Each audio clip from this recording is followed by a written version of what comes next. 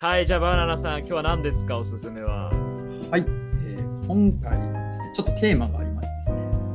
これは名前は聞いたことあるんだけど、お前らちゃんと読んだのかっていう少年ジャンプの名作を持ってきました。こちら、ブラックキャット。はい。これ読んだことありますか？設定だけ知ってる。ああ、多いんですよ。この漫画はね、本当に、まあ、矢吹健太郎、矢吹神が書いた作品なんですけど、この設定だったりとか、イラストだったりとか、実際に読んだっていう人は、僕の周りにも結構少なくて、うんうんなんですよ。実は、矢吹先生はトラブルだけじゃないんだぞって、まあ今、今でこそ、あやかしトライアングル新しく書いてる本もアニメになったりとか話題になってますけどそもそもトラブルより前にガンプで連載していた作品がブラックキャットなんですよ。うんで、まあ、簡単にあらすじというかうーんと主人公の男と相棒のヒゲというか帽子のダンディーな男のスベンとイブまあ完全にヤミちゃんだよね。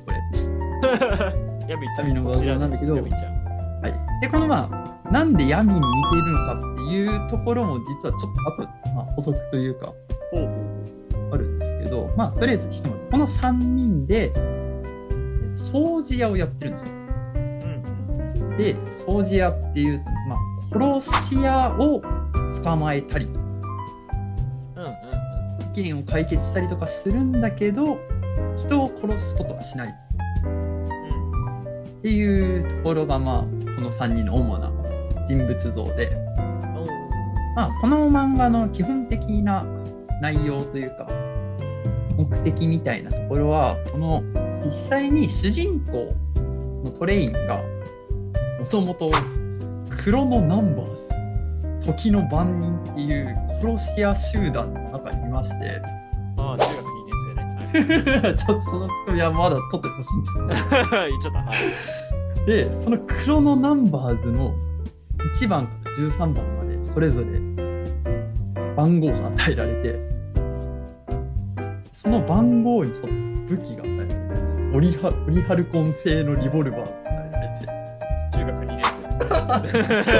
ですでそのハーティスっていうその武器を使ってレールガンを撃ったりとか、実際にその拳銃の技を使って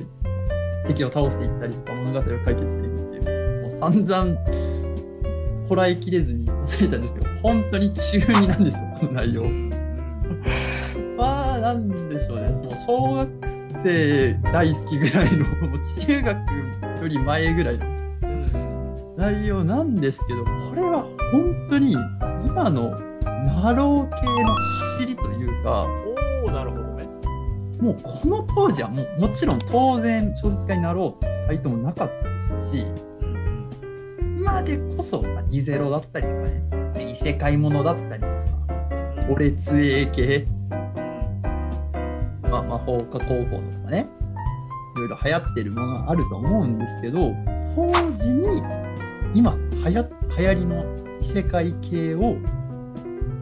のオレツエ系ナロー系をやっていたっていうところが、まあ、矢吹先生のすごいところだししかもそのなんていうのこのもう中二心をくすぐるような設定もりもりに持っているのにくどくないんですよ。うん。大人になって読んでも実なんか漫画として読めるというかなんかある程度こう僕らぐらいのそのもう大学も卒業して何年か経ってってなるとちょっと子供向けすぎる漫画だと若干嫌悪感というかなんかそのアレルギー的なこれまあ面白いんだけどなんかなみたいな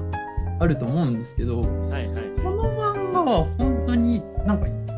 実際に僕も最近ちょっと読み直したりとかしても全然もうおもろいやんみたいな。うんうん。いう風に読めるってだからもちろん小学生。子供もこいいみたいな。な風になりたいみたいな風に読めるし大人になってからも意外とえー、なんか面白いな新鮮だなっていう風に読めるっていうのがこの漫画の面白いところというか不思議なところで。でまあさっき言っていたところのうーんと微妙な補足というか補足情報なんですけどこの主人公のトレインとあとさっきから完全にヤミちゃんのこのイブっていうやつは実際にその矢吹先生の作品観っていうのは結構漫画の中でリンクしていて実はパラレルワールドになってるんですよね。えー、なるほどね。なんでこのイブちゃんは実際にリトと合わなかった世界線のヤミちゃんえー、なるほど。だから分岐してるんですよねこの女の子は実際に地球殺し屋を、まあ、やっているって言ったんですけども生物兵器としてでその人たちその、まあ、この子が地球に行ってリトと会った世界線の女の子の闇でそのトレインに救われて当事者になった世界線がこっちのイブだったりするんですよ。でこの主人公のトレインも黒っていう名前でトラブルダークですね。何回か実は出てて。えー、そうなんだ。えー。そうなんゲスト出演みたいなのが出ててそっちの世界線の時はこの主人公このブラックキャット内ではもともと殺し屋だったのにある女の人と出会って諭されて殺し屋を辞めて掃除屋になって。で掃除屋のなってからが物語の始まりなんだけどトラベルの方ではその女の人と出会わなくて実際に殺し屋のまま育ってしまったっていう設定のパラレルワールドが今度そっちがトラベルに行ってたりするんですよ。うんっていうところもあって意外とそのこの矢吹先生の作品っていうのはトラブルが好きな人とか読んだことある人ってまあ僕ら世代の男だったら多分100人いたら101人ぐらい読んでるぐらいの絶対的に有名すぎる漫画ではあるんですけどこっちのブラックキャットのその設定だったりとか実はそういう小ネタが含まれていたっていうところまで読んでる人は少ないんじゃないかなそういった人たちにもおすすめしたいですね。うんなるほど。一個質問あるんですけどいいですかはいはいはい。まあ、もう、矢吹健太郎イコールトラブルがはい大多数だと思うんですけど、このブラックキャットはピンク色の部分はあるんですか？実はこのブラックキャットピンク色の部分全くないんですよ。えーこれも多分意外だと思うんですけど今今流行ってるアイクストラヤングルとトラブルの書きすぎでそういうの書かないともう不安でしょうがなくなっちゃったんじゃないかな。るほど。ある種のまあなんか PTSD みたいな感じで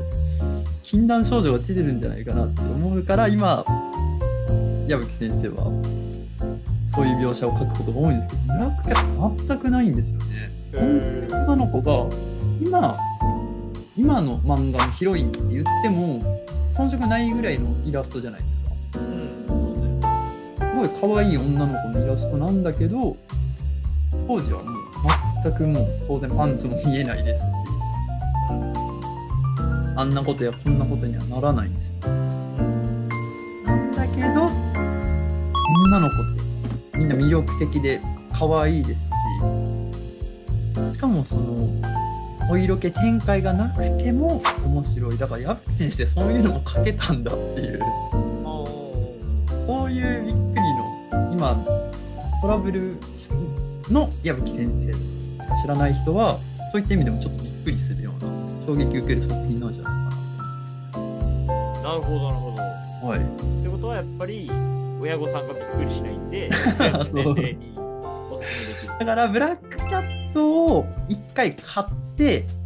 親に見せておけばあの名前でその隣にトラブルを置いても ああの作者ねもうお母さんからしたらトラブルエロ本だからな まあぜひねトラブル知ってるけどブラックキャット知らないよあやかしらない知ってるけどブラックキャット知らないよって方、ぜひぜひお手に取ってはいかがでしょうか、今読んでも面白いと思うので、ぜひ読んでみてください。はい。はい、というわけで、今週もありがとうございました。私たちに解説してほしい漫画、おすすめの漫画あったらぜひ教えてください。バナナさんが知らない漫画とかね、ぜひ教えてくれると嬉しいです。待ってます。はい、というわけで、来週もまた会いましょう。バイバイ。